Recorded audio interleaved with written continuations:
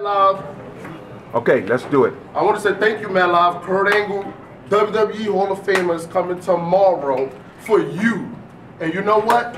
Start the music. Please start the music right now.